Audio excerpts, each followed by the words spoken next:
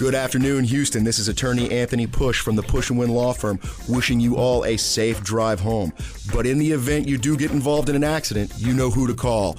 833 Push Win. We push, you win.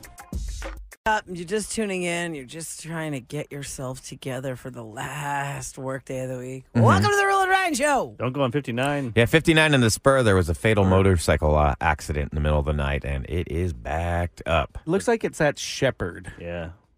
And you know, we were saying off the air that you know motorcycles always give me the f- creepies because I know too many people who have lost their lives or know someone who lost their life on a motorcycle, and I get like why you want to have one, but if you have one, you should like. T- put it on a trailer and take it out to the country and ride it for fun. Yeah, I mean, driving, driving a cycle in Houston, I mean, just our drivers, man. Yeah. And, and I feel like you can't go that, you can't really enjoy it as much. Yeah, you can't Yeah. let Traffic, you're stuck there. Nothing worse than sitting And there. Did we talk about the no he- uh, helmets?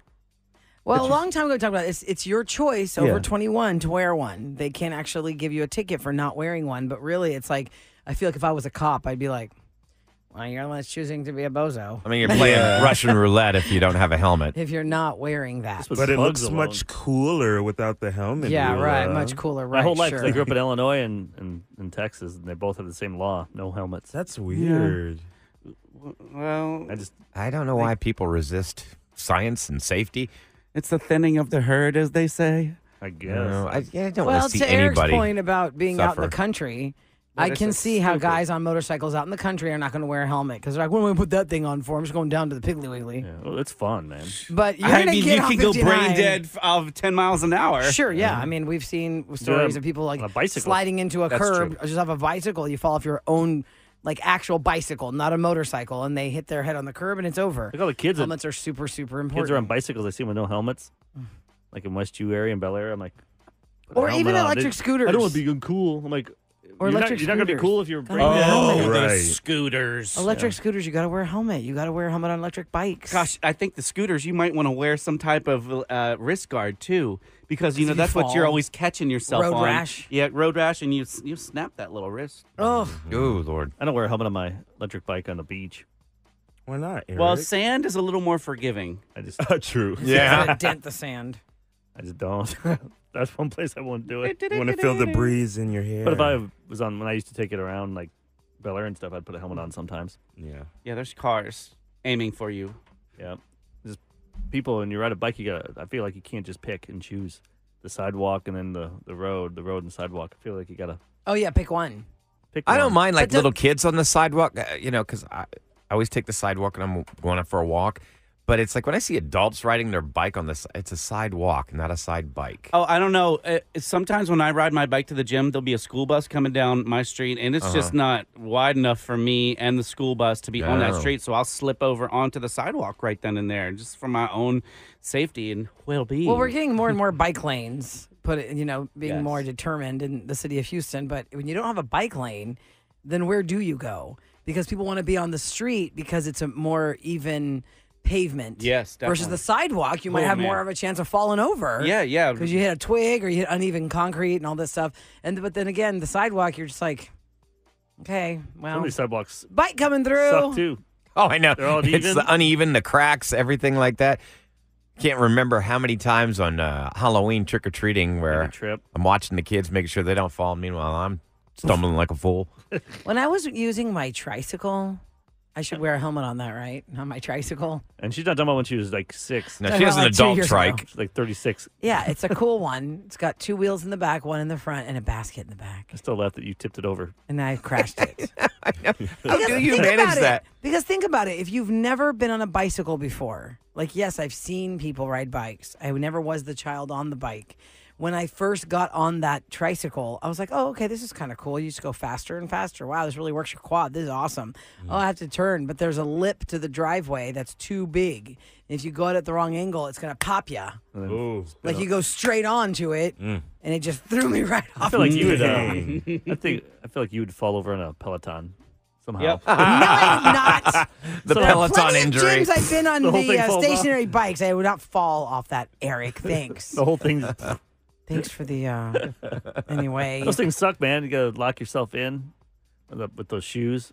on the Peloton. Yeah. I don't like being locked That's into why I didn't anything. like so You I do don't have it. bad luck on those kind of things. I mean, all I know is the station. Uh, only once did this show ever go out and do go karting together, indoor go karting, and you managed to crash your go kart and lose a wheel. The first Well, lap. nobody Ah. told me that it, it's both. That's right, right there, Oh, driver they're like both We're going, gas. Eric and I are Where's going Roula? around the loop. she went straight. She went straight into the wall, and I see a wheel sitting on the side. like a- I'm like, how did she do that? happens She when you don't crashed get it to right do into this the wall. As a child, I never did it as a child, so I didn't oh know. But you've the been in track's a in a car. circle, and somehow you went straight. Right, but for some reason, Kevin, I thought the go kart was like both gas. I thought it was like electrically c- controlled. It's it's not like Astroworld when we were Why? kids. You get on those old cars that are on the track that move for you. yeah, I thought they But were controlling. No, That's but you could hilarious. smell and hear the engines. They're like, so that was electric. And Yeah, this was a place your where you had mind, to wear that the was electric. jumpsuits. Yeah, yeah, we're the yeah. Did I And a put helmet. on? Yeah, and the helmet. Roula. That They must go- have been way before They my go like OCD 55, really kicked 60 in. miles. Yeah, but I no, put that these thing ones I on? think were only going like about thirty. But still, that's fast when you're on indoor track. Mm-hmm.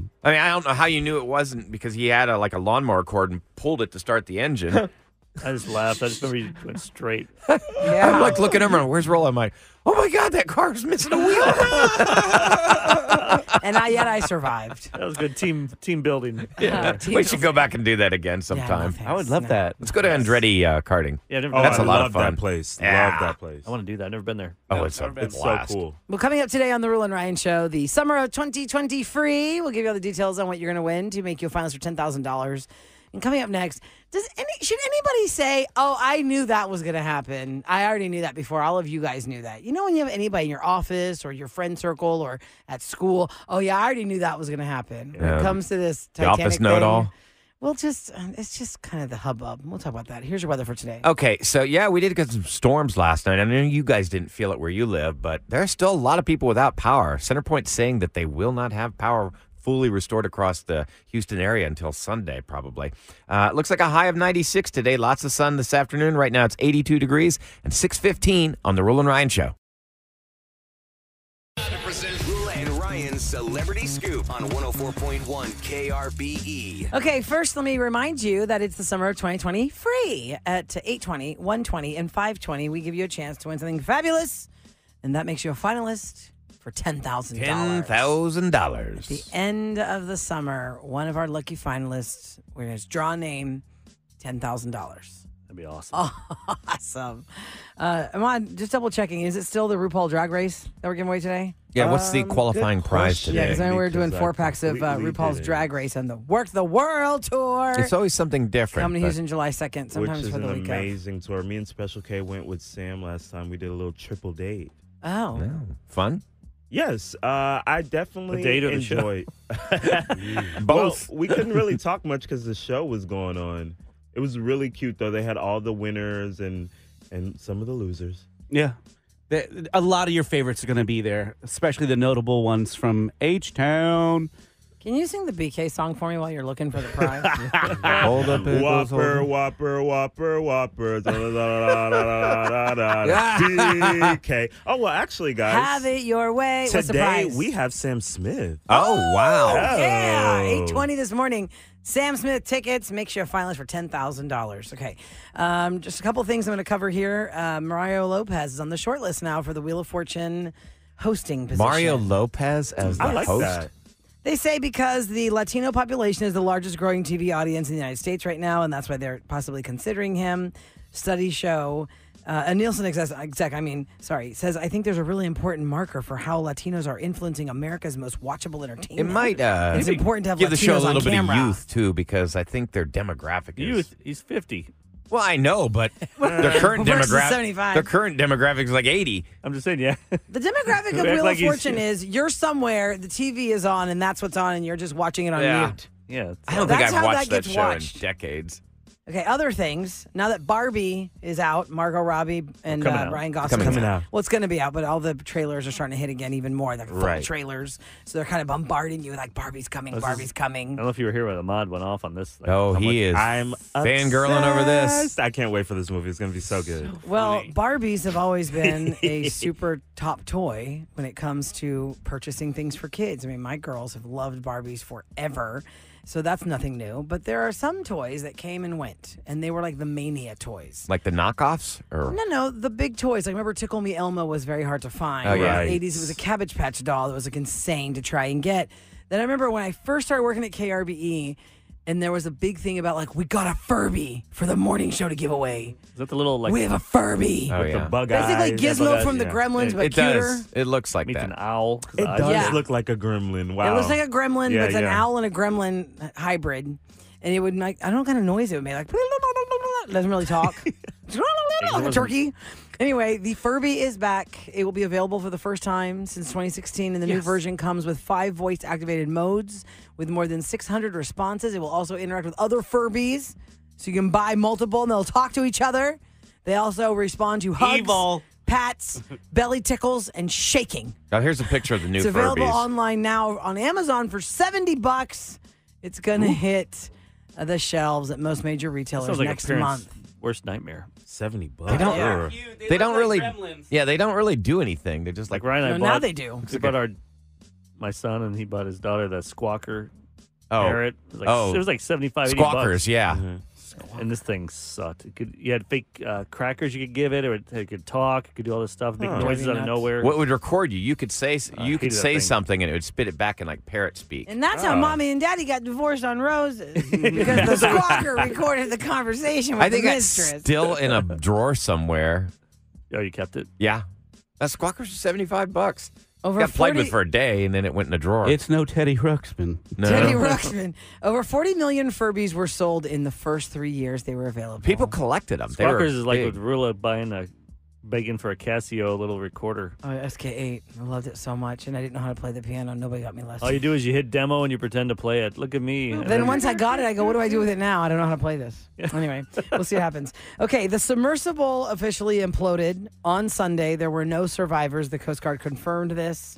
Uh, the debris field was discovered on the seafloor about 1,600 feet from the Titanic's bow. Oh, Is it bow or bow? Bow. Bow. Yes. They identified the Titan's tail cone and several other parts, and they say it was a catastrophic implosion of the vessel, likely caused by pressure failure. But mean- it is unclear exactly when it happened. But most say it occurred on Sunday. So Hmm. all the efforts to try and find this thing before they lost air, there was no reason for The that. the Navy heard the boom on Sunday. Oh, they did. There is a recording that the Navy has because they have microphones everywhere. So you're saying Listening now for there's a subs. conspiracy? No, they There's should do no it. They knew. conspiracy. they Well, knew. No, Some they people are did- saying that. There's There's some people are saying the president kept this Quiet. until now, so it, ta- it would take away from all his stuff with the sun. well, wouldn't oh. you want Oh that? my God! Now That is you're such going crap. conspiracy. If, Yeah. you, if you Got my really, if tinfoil that was hat on. really true, you would have wanted that to happen immediately, so there was never They any want- story. They're saying because they want Who's they? But that's been going on all week for a long time. they wanted people talking about it for like four days about the submarine.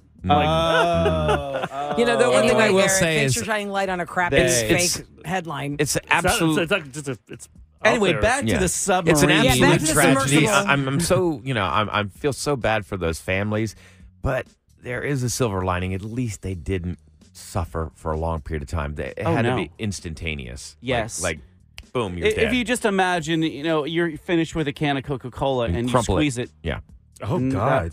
that was they it. were instantly because turned to so nothing. James Cameron was talking, doing interviews because he's been down. He's now been to the Titanic. He's mm-hmm. logged more hours on the Titanic than the original captain of the Titanic. James Cameron, because he built the submersible, help, helped to build submersibles that can get him down there. Submersibles that can get him down there so that he could get all that footage. I mean, he mm-hmm. created the cameras to even film that stuff for the Titanic back in the 90s. Yes. It's crazy. So, you know, of course, co- everyone's going to him as like his expert view on this. And He probably was is. saying, like, he is an expert, but he was like, well, I, I pretty much knew on, like, on Monday it was over. Like, it was over on Monday, or all these efforts to find them was futile because it was just over. I mean, there's just no way. Because they did not heed the warnings of how they had built the submersible. oh, he saw a And- flaw in it. yeah, he he said it that it, they had been warned many times that they're not they're not following the protocol of how you're supposed to build these things. Mm-hmm. According to what Cameron was saying. And sure when be you some don't, huge and he, and he found it very odd, like I, the irony of the parallel of the actual Titanic not heeding the warnings of the ice field they're going into at too high speed, Mm-hmm. and then this submersible did not heed the They said warnings The aunt of the to the go down to the Titanic. 19 year old said that he didn't Oh, want to go. He was scared. Oh. so hard. But his day, he felt like he, his Father's Day, so he had to do it Oh, with his dad. that's Oh, the worst. gosh. Okay, and one of the five That sucks. passengers actually was the, the pilot, Paul Henri Nargeolet. He's a Titanic expert and a former French Navy commander. He was very good friends with James Cameron for like 25 years. He said he's one of the guys that really knew what he's doing to go down there and all the things, show them where they're going. But you know, some people like space, some people like water. Either way, there's a risk. Some people like their couch. Yeah, What? exactly. I like my couch. exactly. I like my house. Sure, I could probably die of something, diabetes or something. Or I mean, could have prior to this bad. accident, uh, if they said, "Here's a free ticket," I would have went down. Hell no. Of course breathe. you would have. I have anxiety just thinking I mean, it I'm 'cause not gonna pay money. space Than that. The th- way it looks, only two people could maybe comfortably lay down in there. You Mm. put five in there? I feel like if you get it free, there's a catch. Wait, if if Kiss was on that submersible, Ryan would pay for it. yeah. Yes, Do a little would. concert. Last concert underwater. That'd be, uh, history making. All right, we're doing Open Phone Friday, 713-390-KRBE. E. That's three seven. I mean, sorry, 390-5723. That is our phone number. Give us a call. It's Open Phone Fridays next on The Roula and Ryan Show. 104.1 KRBE. It is Open Phone Friday, 713-390-KRBE. E. You can call us about anything you want. Maybe you're stuck in traffic right now. Oh, if you're on 59 at Shepherd, where the cops cut off, where there was a fatal accident, and they Yeah. shut down the freeway, I, I'm Headed just, towards the spur. I'm just mesmerized watching the Spur. footage of the blockage because if you're like in the first 10 in each row of those lanes, in each lane, right? And you see the cop car lights ahead of you, there is no exit there. Like you're No. just on that block of the freeway where there is no exit. So they can't really have you move. Like if you're way further back, they can try and get you off the freeway and get you on the feeder. But if you're like right behind it, you're just going to have to hang out and And this happened hours just ago. sit. I'm sorry about that, and I hope to entertain you while you sit and distract Remember, you. though, I mean, if you're really upset, somebody lost their life, so it could be worse for you. Well, somebody's about to lose their Yeah. bladder, their pants. Well, if their gas is low, like they're like, okay, I'll just get down. That's when you turn Yeah. your car oh, off. Oh yeah. I would be like just getting out of my car and stretching and doing lunges. Yo, I turned my car off at a, a train. Like I'm like, oh, this is gonna be forever. I'm, Really? Oh, Turn yeah. this I'll put it I, in I don't park. blame you. but Trains I don't. give me anxiety if I'm stuck at a train stop. That one right Really? there Feel before, trapped. where's it at? It's Yeah. right before Buffalo Speedway. Well, that whole thing at Newcastle, the train Newcastle, at Newcastle, that's all it. Yeah, through the goes Newcastle, all yeah. through Newcastle. Ah, yeah, it's just ridiculous. I got caught I think we would have last mastered week. that one. We only have one, like the West Park over West Park goes over it. And then also Yeah. when you're going that on go under Yale, Yeah, over but if you're on if you like go on Yale, you go under it. It's cool. Yeah. all Don't the way do from heights. Bel Don't do Air Heights to Boulevard. like Richmond, West, it crosses through That's some of the saying. You think- busiest streets. And I, I had it stop last week. It just stopped, and I'm like, oh my god, what am I going to do? And I did have to go to the bathroom. I was like, ah, Uh, is it Andrea or Andrea? pinched it. Hi, Andrea. Andrea, welcome to the Roula and Ryan Show. Hi, good morning. Good it's morning. Andrea. Andrea, Andrea. welcome to Open Phones Friday. What's on your mind? Um, I actually was curious what Kevin was saying about the microphones underwater that the Navy has that could have recorded the submersible's um, implosion. He was talking about it, and then Eric kind of cut him off. So I was Yeah. hoping he could fit. Well, he, he only read the it. same stuff that we read, and it's, it don't, it didn't go into deep, deep, deep detail. It just told All right, Kevin. the minor Now's your things. So chance now to do you a do some deep research. dive. Here we go. We're going to talk about a microphone on a submarine. Here we go. Let's do it. It's gonna be exciting. Well, what's the question you have, Andrea? What do you want to know? Uh, uh, no, she's right. The, Oh, the okay. Navy, but this was on Sunday. The Navy detected an acoustic signature consistent with an implosion, Mm. and in the general area where the vessel was diving and lost communication with the mothership. But they probably didn't know so that's what you that it was said. down Well, there. n- listen here. Why? Why did they hear that? Because they have they, as in our U.S. Navy, has microphones all over the place listening for enemy submarines. So that's why.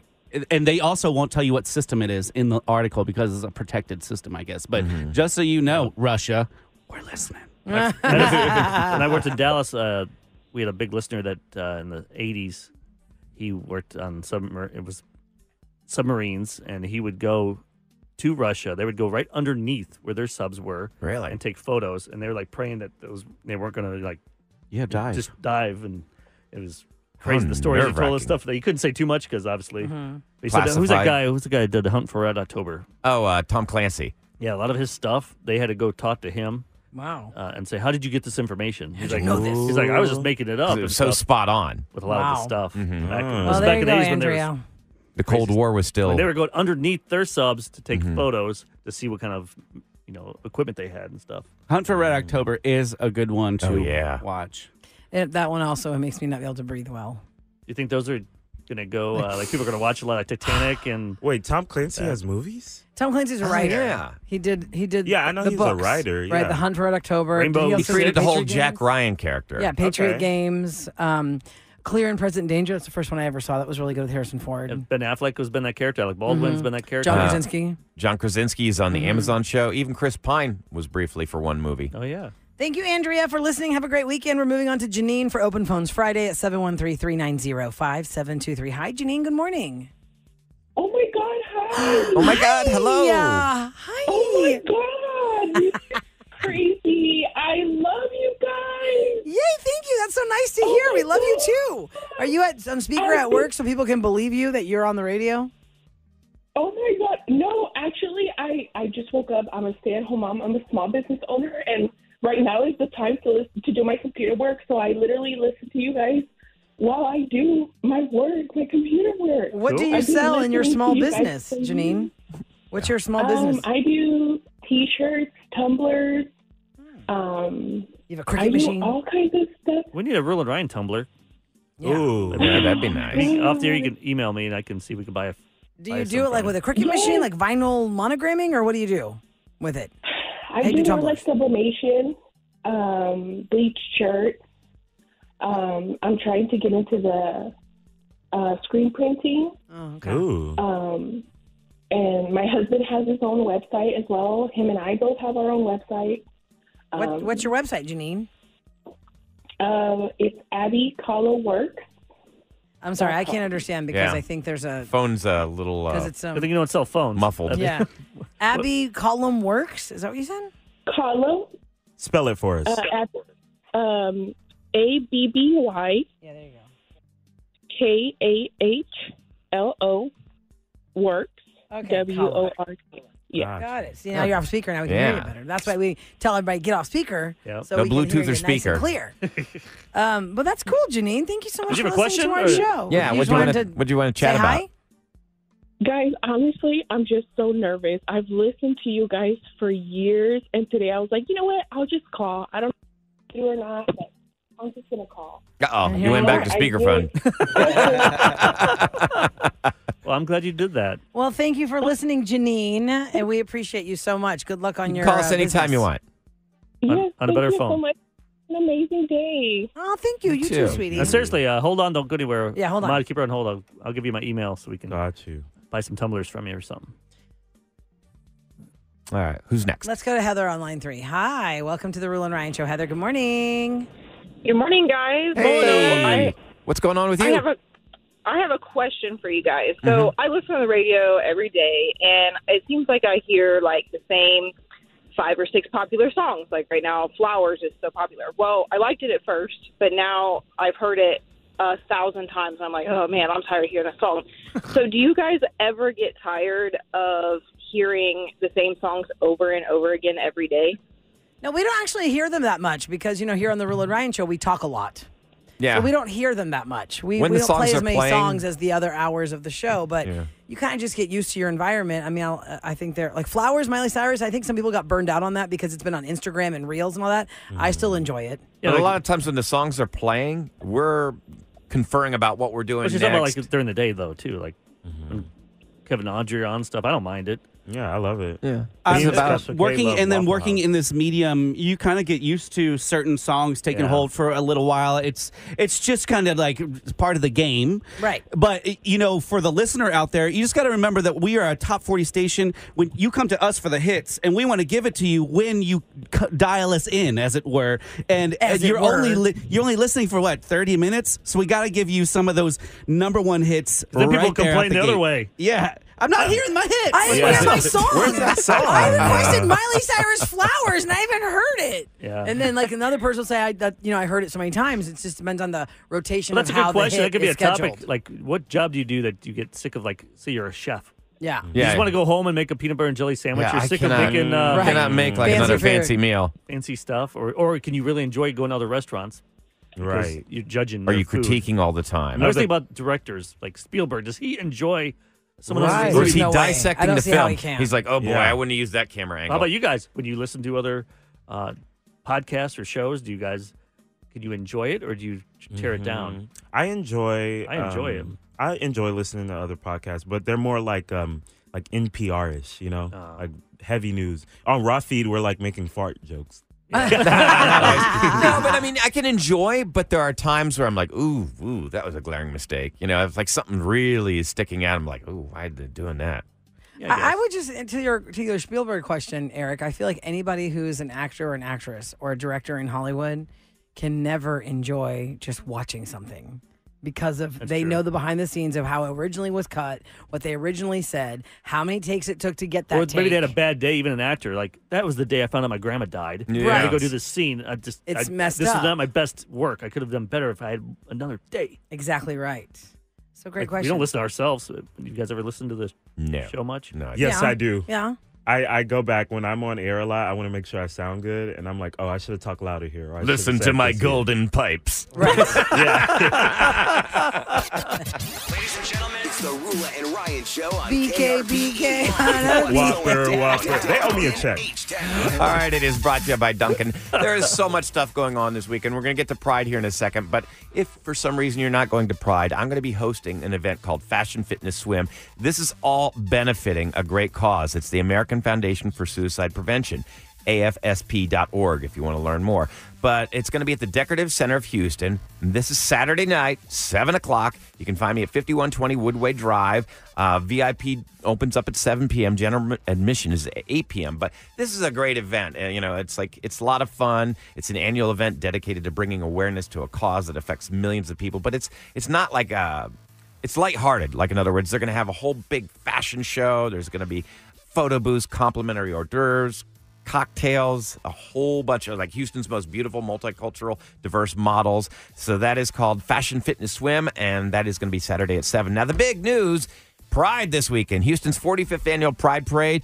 Uh, this year's festivities won't include the daytime festival, but the parade does start at 7 p.m. at Houston City Hall. It'll be led by seven grand marshals. The parade is free, open to all ages. There's going to be cooling buses and free water. Kevin, you and Sam are going to be uh, you're going to be broadcasting there. No. I mean, you're going to be like you're going to be not broadcasting, but you're going to be in the booth. Come on, not keep booth trying. I'm, I'm gonna let him. I'm gonna let him try it. I mean, we had an entire segment it's about the thing what's that gonna we happen. did. It's the thing that the Rule and I president- we had the did. president here. Of the, of the Yeah. Kendra, shout out Kendra. Yeah, but I'm just saying you and Sam are going to be down there. No, stop. okay. Here we even have I promos wasn't running on the here radio and I already station. know. I already, I, and I know what you're doing. I am so frustrated with you right now. Sam and I will be your host and MC for the 2023 Houston Pride Parade. We will be down on Smith Street where the um, parade starts on the main stage, and um, we'll be there probably starting at 6:30 all the way to the very end. You do not need tickets to go see this parade. It go there's a there's a route on PrideHouston365.org where you can get all the rest of the details. What was her rhyme about hydrate? Remember she said something Uh, about celebrate, hydrate. That's Yes, so when you because take a it's shot, gonna be hot. take a shot of water right after. Because it's Yeah, so exactly. hot. It's gonna be hot down there. But like I said, there are going to be cooling stations, and they're going to be handing out water. And but KRBE please. has a float. We'll be throwing out some cool stuff. That'll y'all. be a lot of fun. All right. That's what's going down in H Town. Oh my jeez. that sounds so convincing. That's going to be a lot it of is fun. going to be a lot of fun. I mean, you and I have done it like many, many years, and it's a Will be blast A always. great time. Coming up next, Special K will AI give us a Ryan. prank call. Will it be funny? AI. Ryan's on vacation now. That's not even him. That's AI Ryan. You're right. Thank you. Send that to the Gray season. Marconi. Yeah, yeah. Yeah. Forensics are playing into the prank call. Uh, how, in what way? We're going to find out next on the Will and Ryan Show.